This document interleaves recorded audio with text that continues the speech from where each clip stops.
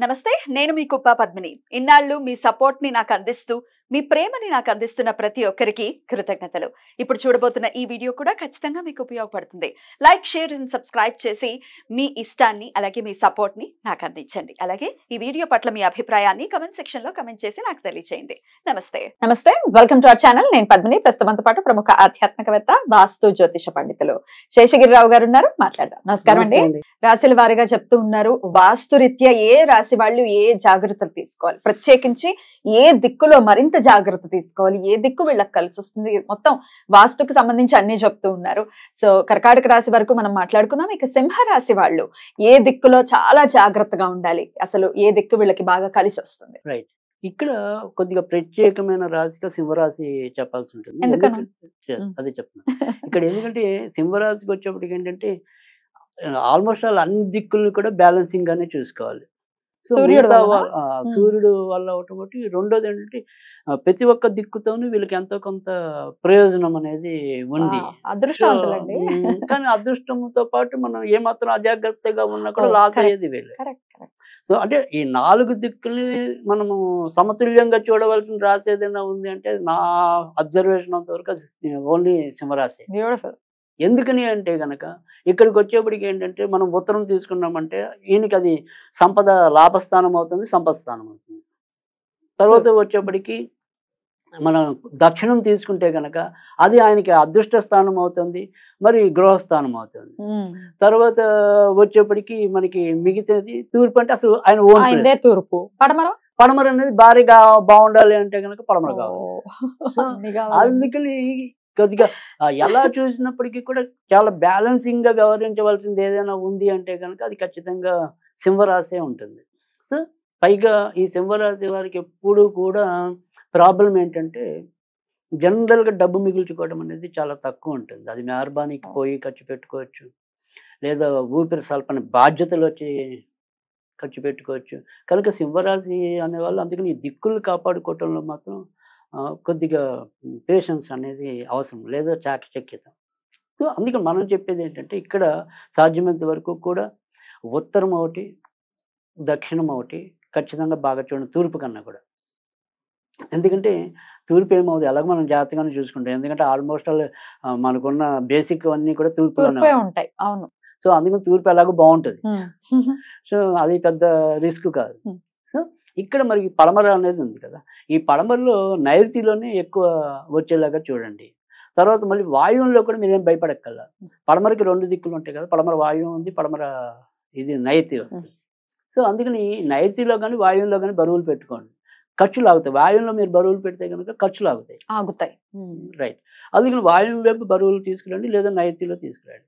So దక్షిణంలోకి వచ్చేప్పటికి ఏంటంటే సాధ్యమైనంత వరకు మరి ఇంతకుముందు కర్కాటక రాజు చెప్పినట్టు వీళ్ళు కూడా లైట్ వెయిట్ ఉన్నవే బరువులు పెట్టాలి. కానీ ఇక్కడ మనం గుర్తుంచుకోవాల్సింది ఏంటంటే ఇక్కడ మనం పడమర వాయువులో కానీ ఏవైతే ఉంటాయో కొద్దిగా సమాన దిక్కులుగా అంటే మీన్ ఇక్కడ ఒక నాలుగు బరువులు పెట్టామనుకోండి దాంట్లో సగం రెండు బరువులే ఇక్కడ పెట్టండి. తర్వాత తూర్పులో ఇంకొద్దిగా తగ్గించండి అలా. ఒక సమతుల్యత అనేది. మెయింటైన్ చేయాలి. సో అది ఖచ్చితం. తర్వాత రెండోది వచ్చేప్పటికి ఏంటంటే ఈ సింహరాశి ఆడవాళ్ళు ఎవరైతే ఉంటారో అంటే ఐ మీన్ ఆడవాళ్ళు అయితే వాళ్ళే స్వయం అనుకోండి. లేదు భర్త ఉంటారు కదా సింహరాశి ఆడవాళ్ళు అంటే. పెళ్ళి చేసుకున్న వాళ్ళు ఎవరైతే ఉంటారో వాళ్ళ భార్యలు. సింహరాశిలో పుట్టిన మగవాళ్ళ భార్యలు. వాళ్ళు ఎప్పుడు కూడా స్టవ్లో పాలు పొంగించకూడదు ఓ మనం గృహప్రవేశాలప్పుడు పాలు. అనేది సహజం. అది ఓకే. అంతవరకు మనం ఎక్సెప్ట్ చేయొచ్చు. పాలు పొంగకూడదు. పాలు పొంగిన కొద్దీ వీళ్ళ సంపద తరిగిపోతుంది. సో సింహరాశి ఆడవాళ్ళు ఒకవేళ సింహరాశి స్వయంగా ఆడవాళ్ళు ఆడవాళ్ళు ఎలాగో. అయితే ఓకే. కానీ సింహరాశి మగవాళ్ళు ఎవరినైతే చేసుకున్న ఆడవాళ్ళు ఉంటారో వాళ్ళ? వాళ్ళు కూడా పొంగించుకోరు. ఆ, వాళ్ళు కూడా అదే అంటున్నాను. ఉమ్, ఇద్దరూను అయితే. ఇద్దరు కూడా. మీ భర్త సింహరాశికి సంబంధించిన వాళ్ళు లేకపోతే సింహ లగ్నానికి సంబంధించిన వాళ్ళు అయితే. పాలు మాత్రం మీ చేతితో పొంగకూడదు. అది ఖచ్చితంగా పాటించాలి. సో దానివల్ల ఏంటంటే ఖర్చులు ఆగటం అనేది ఒకటి. తర్వాత వీరి యొక్క వృత్తి ఉద్యోగాల్లో అప్ అండ్ డౌన్స్ లేకుండా ఉండటం అనేది కూడా ఒకటి ఉంటుంది. అంటే సింహరాశి ఒకటి కొద్దిగా పైకి ఎదుగుతూ ఉంటుంది జారిపోతూ ఉంటుంది. పైకి ఎదుగుతూ ఉంటుంది జారిపోతూ ఉంటుంది. సో ఎప్పుడు కూడా మళ్ళీ జీరో నుంచి బిగిన్ అయ్యి మళ్ళీ పైకి వస్తున్న మూమెంట్లో మళ్ళీ ఆగుతూ ఉంటారు మళ్ళీ పడుతూ ఉంటారు. అలా ఉంటుంది ఎక్కువ శాతం ఎక్కువ. మంది జాతకాలు. సో అందుకని ఈ అప్ అండ్ డౌన్స్ అనేది ఎక్కువ లేకుండా ఉండడానికి కూడా ఇది ఎక్కువ వీళ్ళకి పా ఉపయోగం. పాలు అనేది. తర్వాత రెండోది ఏంటంటే వీళ్ళు వచ్చేప్పటికి ఏంటంటే దక్షిణలో కనుక ఎట్టి పరిస్థితుల్లో ఒక సింధూరం కలర్ ఆంజనేయ స్వామి బొమ్మ పెడితే కనుక చాలా ఉపయోగం ఉంటుంది ఆర్థికంగా ఎదుగుదల రావటం అనేది సరే ఇప్పుడు మనం ఒక దేవుణ్ణి విశ్వసించలేదు అనుకోండి అప్పుడు ఈ ఆంజనేయుడి పదులు మనం ఏం పెట్టాలి అనేది ఉంటుంది కదా. కొంతమందికి. రావచ్చు. వేరే. మతస్థులు. వాళ్ళు ఏం చేయాలి అనేది. సో మీకు గనక అవకాశం ఉంటే గనక మీ ఇంట్లో ఈ ఎర్ర ఆకులతో కూడిన క్రోటన్ మొక్కలు ఉంటాయి. క్రాటన్ అవును. లేదా ఎర్ర పూలు పూసేవి ఉంటాయి. అలాంటివి మీరు ఖచ్చితంగా మీ యొక్క వాకిట్లో కానీ లేదా వెనక ఎక్కడ వీలుంటే అక్కడ. అది దక్షిణలో పెట్టండి. ఇప్పుడు రోజా పువ్వులు పెట్టుకోవచ్చండి? ఎరుపు రెడ్ పూ రెడ్ ఉండాలి. సో అలాంటివి కూడా పెంచవచ్చు అలాంటివి చేసినా కూడా ఖచ్చితంగా కొన్ని మంచి మార్పులు అయితే రావటం అనేది ఉంటుంది. తర్వాత వచ్చేప్పటికి ఏంటంటే ఇక్కడ ఇందాక మనం చెప్పుకున్న ఈ ఉత్తరం అనేది కూడా వీళ్ళకి చాలా ఇంపార్టెంట్. సో కనుక ఇంటికి ఏదైనప్పటికీ కూడా ఈ గ్రీన్ కలర్ అనేది ఒకటి వీళ్ళకి చాలా ఎక్కువ ఉపయోగపడటం అనేది ఉంటుంది. తర్వాత థిక్ బ్లూ కాకుండా లైట్ బ్లూ. ఈ లైట్ బ్లూ వాడటం వల్ల కూడా భార్యాభర్తల మధ్య సఖ్యత పెరగటం అనేది. ఒకటి ఉంటుంది తర్వాత ఇంట్లో సాధ్యమైనంత వరకు కూడా ఈ బల్బు అనేది కూడా సాధ్యమైనంత వరకు గ్రీన్ కలర్లో ఉంటే కనుక ఇంకా ఎక్కువ లాభం అనేది ఉంటుంది. అంటే నైట్.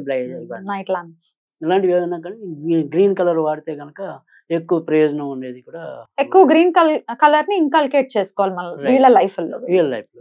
తర్వాత ఇక్కడ ఒకవేళ మనం ఇందాక చెప్పుకున్నట్టుగా ఏంటంటే ఇలా దేవుళ్ళు కాదు ఇలా ఒకే మొక్కలు అనేది ఒక సూక్ష్మమైన పద్ధతి కలర్ కూడా మీరు బల్బ్స్ కూడా చెప్పారు. చెప్పాము ఇంటికి వేసే రంగులు కూడా.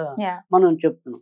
సరే వీటితో పాటు ఇంకేదైనా సరే ఇప్పుడు మనం అంటే ఒక్కోసారి కొంతమందికి ఇలా ఏదైనా సరే మనం ఏనుగుల బొమ్మలని ఇలా గుర్రాల బొమ్మలని. ఇలాంటివి ఒకటి. మనం చెప్తున్నాం. ఇలా వీళ్ళు కనుక అయితే కనుక మీరు కనుక అబ్జర్వ్ చేస్తే ఒక మనిషి ఇలా ఈట పెట్టుకున్న బొమ్మలు మీరు కనుక చూస్తే కనుక. లేపాక్షి ఇలాంటి వాటిలో అయితే మీకు అవును సో ఖచ్చితంగా అలాంటి బొమ్మ మీకైతే కనుక ఖచ్చితంగా ఎంతో కొంత లాభాన్ని తీసుకురావటం సోల్జర్ లాగా ఉండి Soldier, ఇట్లా అది అలాంటి బొమ్మ అయితే కనుక మీకు ఖచ్చితంగా ఉపయోగపడటం అనేది ఉంటుంది. అది తూర్పులో పెట్టాలి. అదే అడుగుతుంది తూర్పులో తూర్పులో పెడితే కనుక బొమ్మ. అంటే పోస్టర్ పెట్టుకున్నా పర్వాలేదు. అది ఇప్పుడు బొమ్మ దొరక వాళ్ళు ఎప్పుడు కూడా పోస్టర్లు పెట్టుకోవచ్చు. ఆ రకంగా అట్లాంటి. బొమ్మలు యాంటిక్ ఉంటాయి. యాంటిక్ కాస్ట్లీగా ఉంటాయి. సో అవి. ఎఫోర్డ్ చేయలేని వాళ్ళు పోస్టర్ తప్పకుండా పోస్టర్ పెట్టుకోవాలి. సో స్మార్ట్ రెమెడీస్తో ఎలా అయితే మన వాస్తులో ఎట్లా ఎనర్జీని పాజిటివ్ ఎనర్జీని డెవలప్ చేసుకోవచ్చు అనేది చాలా బ్యూటిఫుల్గా ఎక్స్ప్లెయిన్ చేస్తున్నారు రాశి పరంగా.